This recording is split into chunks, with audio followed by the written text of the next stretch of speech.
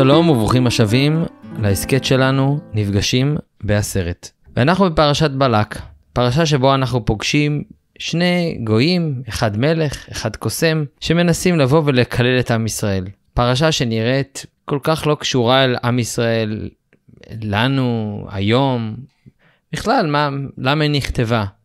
אבל uh, מפתיע כמה שזה יישמע, אבל הגמרא במסכת ברכות כותבת בשם רב יהודה בר זבידה, שביקשו לקבוע פרשת בלק בקריאת שמע. כן, זה משהו שהיינו אמורים לקרוא כל יום. ואגב, בצמוד לזה, הגמרא מתעסקת בזה שהיו אומרים עשרת הדיברות בכל יום בתפילה. אז מה יש בפרשה הזאת, ומה היא קשורה אולי גם לעשרת הדיברות? אז אנחנו עם האורח הקבוע שלנו, הרב שלום שוורץ. שלום הרב. שלום יקיר. אז הרב, אולי תעזור לי להבין את המשמעות של הפרשה הזאת. פרשה שאגב, קראתי אותה בבר מצווה שלי, אז אני זוכר אותה מצוין. ובכל זאת, איך היא קשורה אלינו? באמת מאוד התפלאתי לראות שבאותה גמרא שמביא את המנהג שהיה בזמן בית המקדש השני, אה, לומר את עשרת הדיברות בכל יום במקדש, ויש אומרים שזה גם היה בבתי כנסת אז, לומר את עשרת הדיברות בתוך אה, קריאת שמע, חלק מקריאת שמע, כמו שירושלמי קורא לזה, שזה גופה של קריאת שמע. עשרת הדיברות ממש אחרי הנקודה הזאת בתלמוד ירושלמי מביא את הנקודה הזאת אה, כדאי לומר את הפרשת בלק כל יום. אני אומר לעצמי למה? אז הגמרא מתחילה להסביר אבל לפני שמסבירים אני רוצה קצת לתאר לעצמנו מה היה אמור להיות. אז היו אומרים את עשרת דיברות כל יום בתוך קריאת שמע, מיד אחרי זה היינו רוצים לומר, לפי ההווה מינא של הגמרא, פרשת בלק. הגמרא אומרת, נו, זה טרחת לציבורה, זה, מס... זה, זה, זה ארוך מדי. אבל אני רוצה שנכניס את ראשנו, נכניס את חווייתנו לתוך המנהג הזה. אני קם כל בוקר, אני אומר את עשרת הדיברות ביחד עם שמע ישראל השם אלוקינו השם אחד, ביחד עם פרשת בלעם ובלק. למה? מה הקשר? הרגע שקראתי את זה, נזכרתי שאנחנו באמת קמים כל בוקר, כתוב בסידור שלנו, לומר את המילים של הנבואות של בלעם. מה טובו אוהליך יעקב משכנותיך ישראל. מי, מי אמר את זה? בלעם. אם התורה הייתה רוצה לומר לנו את המילים האלה, אז נאמר את זה דרך uh, משה רבנו, אחד מהנביאים הטובים שלנו, למה זה צריך להגיע אליי ולמה אני מצטט את המילים האלה מבלעם? זו שאלה, לפי דעתי, עמוקה ומפתח לכל העניין הזה. כשאני קורא כל שנה את הפרשה שלי, אז אני רואה את הנבואות שבלעם מדבר עליהן. בלעם מדבר הרבה מאוד על מה הולך לקרות בהמשך לכל העמים, ומנסה להגיד אה, לבלק, אל תדאג עכשיו, זה דברים שלעתיד לבוא, הראינו ולא אתה, שורנו ולא קרוב, זה לא בקרוב יהיה. אבל עדיין הוא נותן לנו מצד אחד נבואת אחרית הימים, שבסוף כל העמים ייענשו, מה שנקרא עורריך ארור, הם ייענשו בסוף על מה שעשו לנו. ותוך כדי כל הנבואות גם מדבר עלינו, על עם ישראל. מי אנחנו, מה אנחנו, מה המיוחדות שלנו. יכול להיות שאולי זה הסיבה שצריך לקרוא את זה כל יום. לראות כמה אנחנו מיוחדים. יפה מאוד. הגמרא מצטט את הסיבה, למרות שזה נשמע טכני, הפסוק קרא רבץ כארי, וכלבי מי יקימנו, מברכך ברוך ועורריך ארור. יש פה מצד אחד, הגמרא מזכיר את זה לצד שיש תזכור של שוכבך ובקומך. כשאתה שוכב, תקרא את זה, כשאתה קם, תקרא את זה. קצת uh, מלאכותי ככה, אבל אני שמתי לב גם לעניין של סוף הפסוק, מברכך ברוך ועורך ארור. כי זה מזכיר לי לא רק את העניין של הגדלות של עם ישראל, שהטוב בעם ישראל, אבל הכוח של עם ישראל להשפיע. כי אנחנו מדברים פה על אלה שיברכך, יהיה ברוך. אלה ששונאים אותך ויקללו אותך, הם יהיו מקוללים. אז יש פה איזושהי טריגר, אני לא יודע איך קוראים לזה. עם ישראל הוא המרכז של כוח הברכה והקללה לעולם. אנחנו יודעים שזה גם נזכר באברהם אבינו, היה ברכה. עם ישראל נקראים להיות מקור של ברכה לכל העולם כולו. וגם העניין הזה של יש לך כוח להביא ברכה או קללה לעולם. אני חושב שיש פה עניין מאוד מאוד מרכזי לכל התורה כולה. אם חז"ל היו חושבים שכדאי לומר את זה בכל יום מול עשרת הדיברות, יש לנו פה משהו מאוד מרכזי בתפקידנו. אז אולי בפשטות לומר שאנחנו חוזים בכל יום לא רק את האחריות לקיים את עשרת הדיברות ולראות שזה שבועת אמונים ביחד עם שמע ישראל השם אלוקינו השם אחד. והיו הדברים האלה אשר אנוכי מצווך היום על לבביך שאנחנו לוקחים את עשרת דיברות על לבבינו לקיים אותם להיות מה? ממלכת כהנים וגוי קדוש. זה כתוב פסוק להיות אור לגויים. אז אנחנו עכשיו מצטטים גוי בלעם שבסוף התורה כתוב לא יקום נביא בישראל כמשה עוד אבל בגויים כן, יש מישהו שהוא דומה למשה כנביא. מי זה? בלעם, בלעם הרשע. זה מאוד מוזר. איך אתה מבין את זה?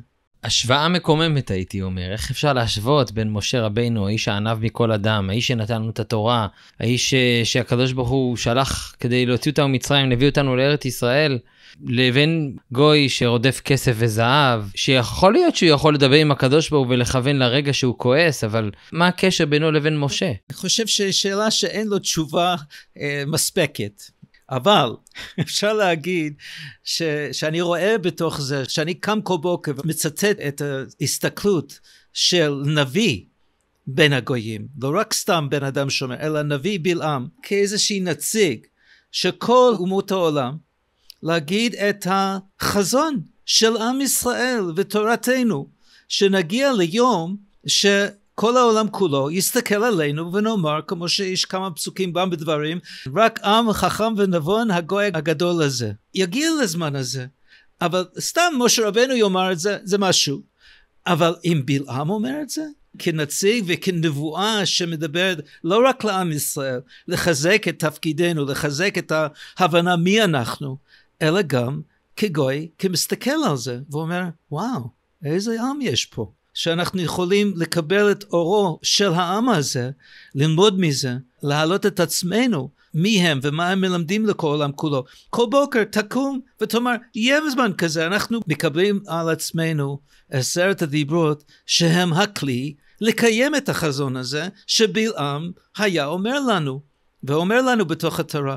אז אני אומר שבמקום שהפרשתנו שהיה נכתב כל הדברים האלה, כמו כל התורה כולה, בדרך כלל או ב... ממשה רבנו או מהשם ישר, אבל דרך גוי, וגם ה...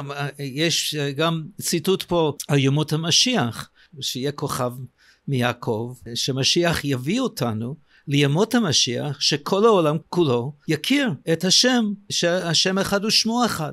מדברים איך להגיע לזה, אז אנחנו קמים בבוקר, מקבלים על עצמנו את המחויבות לקיים את עשרת דיברות כדי להגיע לזה, ולהזכיר לנו דרך בלעם, זה האהבה מיניה של הגמרא, שזה יהיה החזון.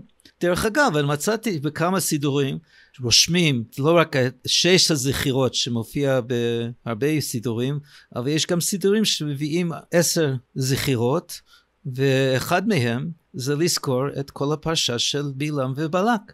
וכנראה שזה חלק מזה, שאנחנו צריכים לזכור מה בלעם אמר לנו, גם מה עשה לנו, נגיע לזה. אבל למשל, כשאני שמעתי שהיטלר ימח שמו אמר ש... The Jewish people are the conscience of humanity.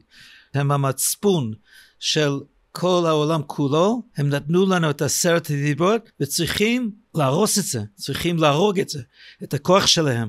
אבל כששומע את זה מהיטלר ימח שמו, אני שם לב לזה. אם רב בא ללמד אותך, כן, אנחנו המצפון של העולם כולו, אז ישנים, hey, כן רב, תודה רבה. אם, אם אנטישמי בא לומר לך, זאת הסיבה שאני רוצה להרוג אותך, היטלר ימח שמו הכיר את כוח של עם ישראל ורצה להשמיד את זה. אבל גם גוי סתם, ג'ון אדמס למשל, ג'ון אדמס הנשיא השני, אם לא טועה, של ארצות הברית, הוא דיבר על הכוח של עשרת הדיברות כאור, כ... לא, לא זוכר את הציטוט המדויק עכשיו, אבל הכוח הזה של עשרת הדיברות שהגויים מסתכלים עלינו, או לטוב או לרע, ורואים את הכוח שלנו במיוחד דרך עשרת הדיברות, אבל לא רק, אז אנחנו שמים לב לזה, מה כוחנו? אנחנו, יש לנו איזה כוח של המצפון של העולם? כן? הנציב כותב, לעם ישראל יש כוח וחיוב להשלים את כל העולם כולו. אז זה המסר של עשרת דיברות מול פרשת בלק כל יום. יפה מאוד, רק צריך להוסיף שבסוף אנחנו לא אומרים פרשת בלק בכל יום, ויכול להיות שזה משהו טכני, בגלל שזה טורח ציבור, כמו שהגמרא אומרת. הרב קוק קושר את זה למשהו יותר עמוק מרק טורח ציבור, ואומר, הגמרא מנסה להגיד שנגיד רק את הפסוק, קרא רבץ כאריוך להביא מקימנו, כמו שאמרנו, והגמרא אומרת, אי אפשר לעשות דבר כזה. למה אי אפשר לעשות דבר כזה? כי לחבר כל יום את עם ישראל לשמע ישראל, את האחדות של השם עם, יחד עם העוצמה של עם ישראל כהרי התנסה, זה דבר שהוא לא כל כך קל לקלוט אותו בפסוק אחד. כלומר, אם אני רק אומר פסוק אחד, קרא רבץ כארי וכלבים יקימנו, אני מחזק את הצד הלאומי של עם ישראל. אבל הצד הלאומי של עם ישראל, בלי הצד האלוקי שבו, עם כל התפקיד והמשמעות שלנו, זה יכול להיתפס כעוד לאום בין העמים. אדם גאה להיות צרפתי, גאה להיות אמריקאי, גאה להיות ישראלי. וזה עלול להיות ריק מתוכן, מהתוכן העמוק שיש זה, שהאחדות של הקדוש ברוך הוא בעולם תלויה בנו, בעם ישראל, כשהוא מתגלה בעולם. ככל שאנחנו מגלים את השם בעולם, מקבלים על עצמנו את עשרת הדיברות, וזה המראה שלנו לכל האומות, אז אחדות השם מתחזקת. את זה קשה להטמיע בכל יום, והרב קוק אומר אפילו, אפשר להסתדר גם בלי זה. אפשר להיות יהודי בלי לחשוב על כל הרעיונות הגבוהים האלה, והם מעצמם יקרו בסופו של דבר, כי זה משהו שהובטח לנו, אנחנו נשמור על המצוות, אנחנו נשמור על הדיברות, והם יעשו את שלהם.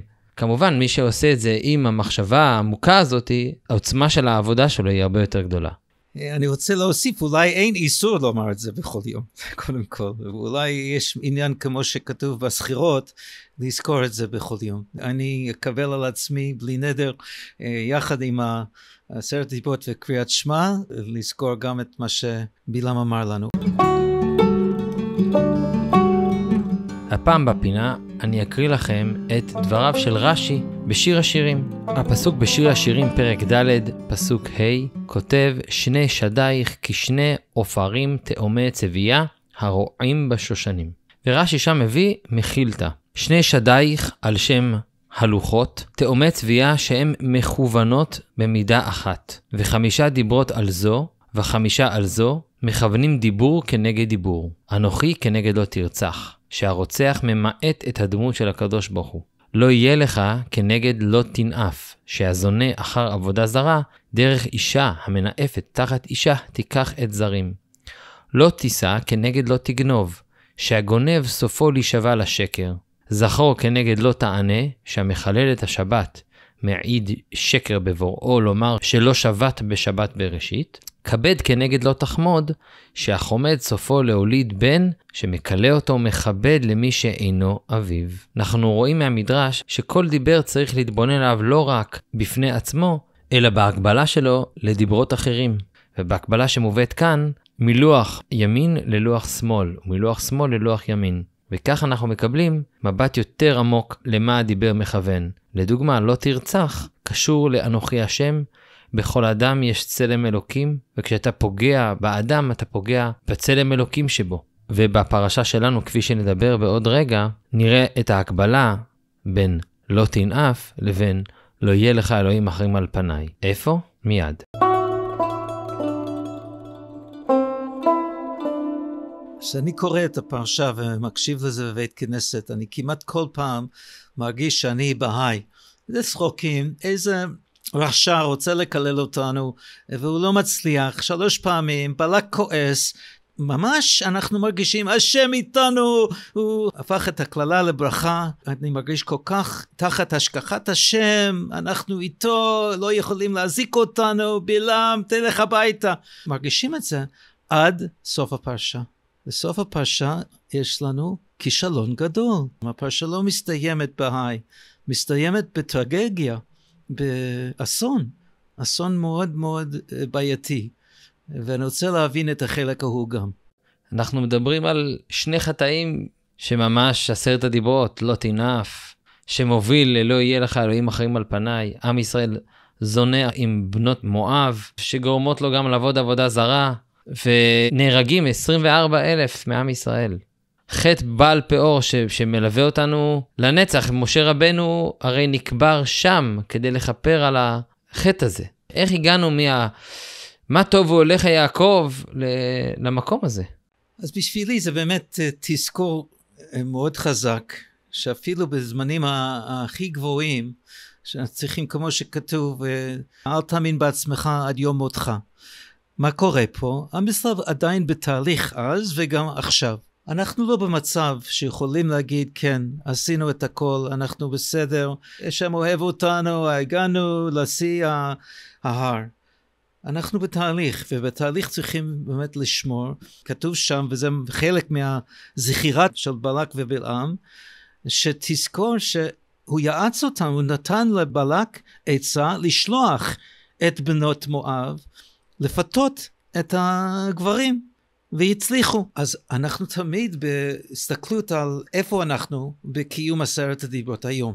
אפשר להגיד, יש לנו חזון, עשרת דיברות יביא את כל העולם כולו לאור לגויים, כן, כן, כן, עכשיו אנחנו... מה? אנחנו לא שם. אז צריכים לעשות חשבון הנפש פנימי כדי להגיע לזה. וזה גם חלק מאוד מאוד מרכזי של המסר של כל הפרשה שלנו, של לקחת על עצמנו לא רק את החזון, אלא השתדלות והשקעה ולימוד וקיום על ידי זה שאנחנו יודעים שאנחנו עוד לא שם. וזה גם חלק מהמסר של המצב שלנו היום במדינת ישראל. הייתה לי שיחה השבוע עם בני יוני, שהוא מדבר לקבוצות מחו"ל על הסתכלותו של גם הסכסוך הישראלי-ערבי וגם עוד דברים. הוא הסביר לי בקיצור שיש לו שני כיוונים שהוא רוצה להגיד, קודם כל על הצד המדיני, הצד החיצוני נקרא לזה, אבל אחר כך הוא אמר שיש גם צד פנימי. זה עזר לי גם להבנה של פרשתנו. מה המקור של הבעיה מצידנו? אז אנחנו צריכים לראות איפה אנחנו נכשלים, ויודעים שאנחנו צריכים לבנות את עצמנו כיחידים, כמשפחות, כמדינה, לקיים את תפקידנו פה בארץ. בסוף העמים יסתכלו עלינו. זאת הסיבה שצריך מדינת ישראל. יש פה עם שמקיים את תפקידו להיות אור לגויים. עם ערכים נעלים, עם קיום עשרת הדיברות, שלא יהיה פה רצח, שלא יהיה פה גנבות, שלא יהיה פה ניאוף, שיהיה לאנשים שמחים בחלקם, שאנחנו נקיים ונשמור את השבת ונקיים את עשרת הדיברות במלואם, העולם כולו, וקודם כל אנחנו נסתכל על עצמנו, כן אנחנו באנו, יש לנו זכות ממש להיות פה, זה לא סתם זכות ככל העמים שיש להם מדינה שלהם, אלא זכות מיוחדת לקיים את תפקידנו, להביא את ידיעת השם לכל העולם, ידיעת עשרת הדיברות לכל העולם. היה פעם אפילו בטורונטו, היה כנס על עשרת הדיברות, The Ten Commandments Conference. מה היה שם? נוצרים, מוסלמים, יהודים, דיברו על עשרת הדיברות כאיזשהם ערכים אוניברסליים שיכולים באמת להביא את כל העולם למצב אתי מורלי טוב יותר. אז הצלחנו באיזשהו אופן להביא את המסר שיש דבר כזה עשרת הדיברות לכל העולם. בהשגחת השם זה הגיע דרך הנוצרים כמעט כל פינה בפינה בעולם תגיד להם שמעתם על עשרת דיברות? כן כן כן שמענו. אנחנו לא רוצים שישמעו על זה כאיזושהי רשימה של uh, דברים, אלא ישמעו על הכוח של עשרת דיברות להביא אור למדינה, אור לעולם כולו על ידי הקיום של מה זה להיות בן אדם, מה זה להיות יהודי, מה זה לחיות עם השם השם נקרא עליכם, וזה באמת המסר לפי דעתי של מה שבלעם מודיע לנו בתוך הברכות שלו, וגם בתוך העצה שלו בסוף, שאומר תעבדו על עצמכם, צריכים לחזק את עשרת דיברות בחיי יום יום ולא להיכשל בניאוף ולא להיכשל בעבודה זרה כי על ידי זה אתה שובר את הברית. זה צריך להיות הברית, קיום הברית מצידנו כדי שזה יקרה. באמת שנזכה קודם כל להיות מי שאנחנו ומתוך כך להעיר לעולם ובעזרת השם על ידי זה אנחנו נראה במהרה איך כל הדברים שכל כך מפריעים לנו וכל כך לא יודעים איך לפתור אותם ייפתרו מעליהם מי יודע. תודה רבה, הרב שלום שוורץ. תודה יקיר, יישר כוח גדול ושבת שלום לכולם. שבת שלום מבורך.